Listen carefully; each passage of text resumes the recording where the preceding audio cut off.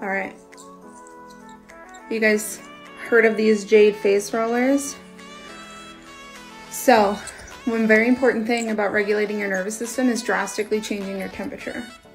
That's why we recommend cold showers, you splash cold water on your face. This is all in our nervous system 101 freebie, but this is one of my favorites. It took off on TikTok, thankfully, because now everybody gets to know about it.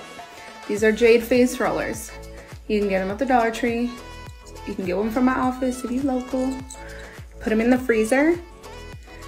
When you're starting to feel anxious, overwhelmed, stressed, you roll your face changes the temperature, helps you regulate your nervous system.